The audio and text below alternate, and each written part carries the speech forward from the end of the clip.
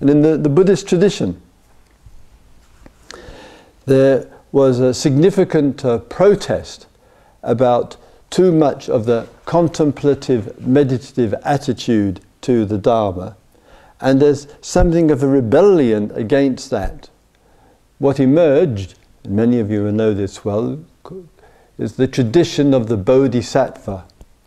And it's a tradition in which reflection and inquiry and meditation and contemplation certainly deeply valued, but not more than compassion, not more than the uh, acts of service. And so, just in the uh, last retreat, um, in the space of three days, this was uh, in Israel, three of the people had to leave the uh, retreat because three relatives, parents in fact, of three different people, had been diagnosed with cancer and within a couple of days of joining the retreat had to leave the uh, retreat in order to give support to the uh, person. And two of them had only just received the diagnosis. And of course, that information can be extremely painful, and it's a situation one could just stay and sit on the meditation uh, cushion. But the heart says, and appropriately so, the act of compassion, the going to and the attending to the suffering is the priority, and that priority uh, is, as it were, an expression, we might call it, of the Bodhisattva tradition. the Buddha, in his uh, uh, uh, teachings, of course, recognizes and acknowledges the, the power of love, metta, the power of deep friendship and kindness, how it supports and transforms our life, how it deeply nourishes us, as well as the acts of uh, compassion, meaning the action and the activity to relieve suffering. And just recently I had uh, Bhikkhu Bodhi, who is the much loved uh, translator of the, many of the discourses of the Buddha, wrote an article and kind of squeezing the article down to its bare essence. And this is in a very classical Orthodox Theravada uh, uh, monk, and was expressing concern that sometimes in the tradition and in the vipassana world, that some people may be getting the idea that if I just sit on the meditation cushion and do my loving kindness meditations, my metta meditations, then those lovely vibrations will, will transform all those wretched governments uh, uh, out there, enlighten people's lives and transform the world. This is called mad optimism. and it may just be feeding into uh, a kind of um, uh, ideology of in which in this uh, ideological uh, uh, view that it's a kind of and Bhikkhu Bodhi makes reference to this a kind of middle class comfort zone. So that instead of the middle way the middle classes are now ruling I would say. And how very easy it is the feel good factor. If however with loving kindness metta um, meditations they genuinely give some insight and some empowerment to the heart and really contribute to a much deeper awareness of the support and the necessity and vitality of love, and it leads into something in the daily life, then every moment of metta meditation, of sitting on the cushion, sharing, generating loving kindness for oneself and others really matters.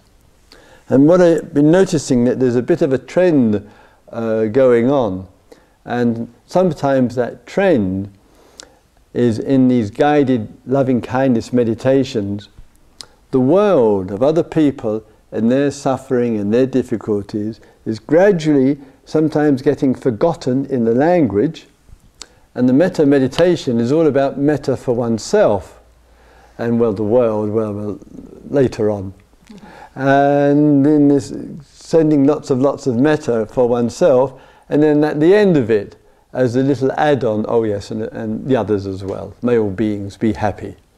And one has to be just a little mindful with these meditations, whether it hasn't got a little flavour of narcissism in it, of kindness for myself, which is important, uh, friendship towards myself, love towards myself, uh, all of that is important. But any exaggeration in one direction isn't actually transforming self to selflessness, but it's wrapping it up in nice, warm, cozy feelings. And something, therefore, is not being seen nor un- understood about what it is to be in this world and to be a co participant. It would seem from the teachings of the Buddha that a shift, he's tried to make a shift, and rather and moving away to some degree from um, the selflessness which we uh, associate with charitable actions, which we associate with uh, religious sentiments, in both are important, of course, and in fact takes a different point, starting off point. And the starting off point is what is self? It's not a movement between from selflessness in various ways and then back to self and being with myself and looking at myself and uh, being at home with myself and then forgetting oneself and then going back to service to others, to karma yoga, to love thy neighbor, and then acts of selflessness. He looks at this whole movement and particularly what is self? What is this self? What is the construction of it? What's it made up of? Who am I?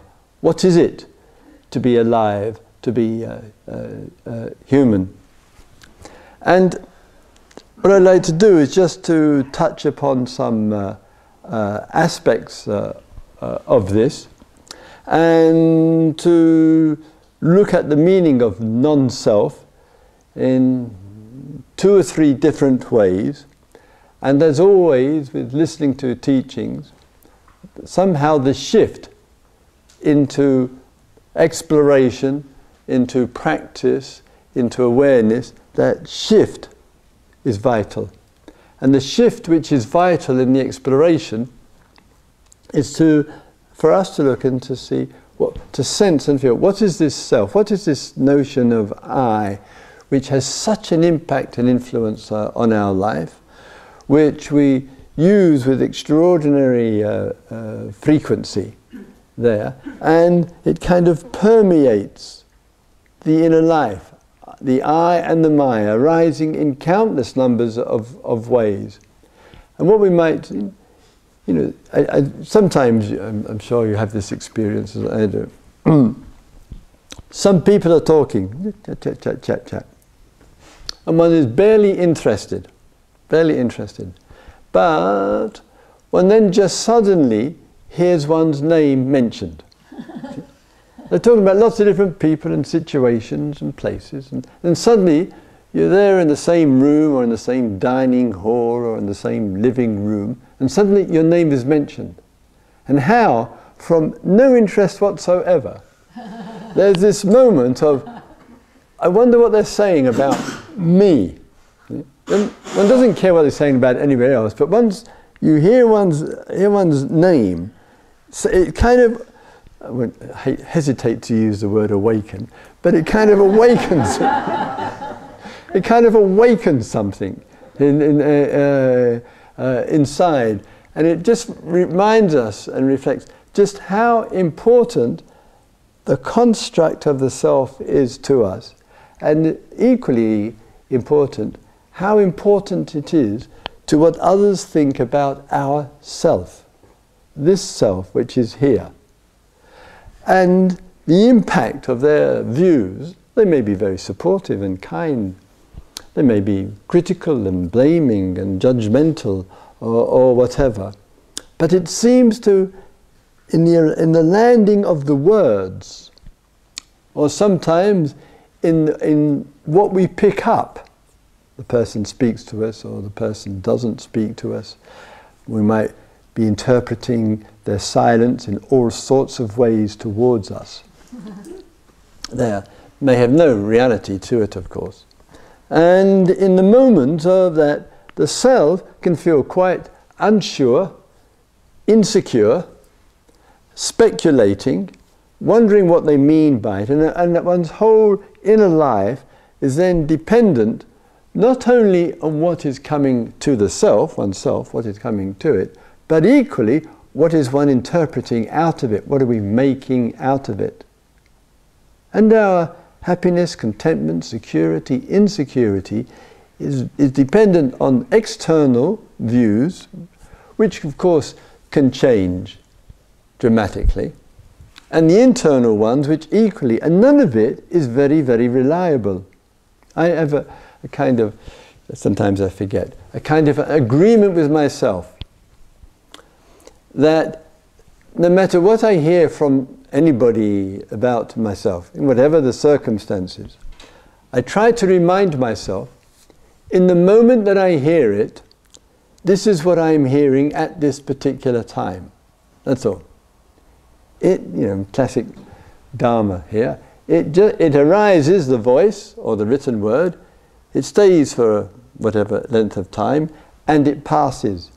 And just that this is the voice which is being expressed at this particular time.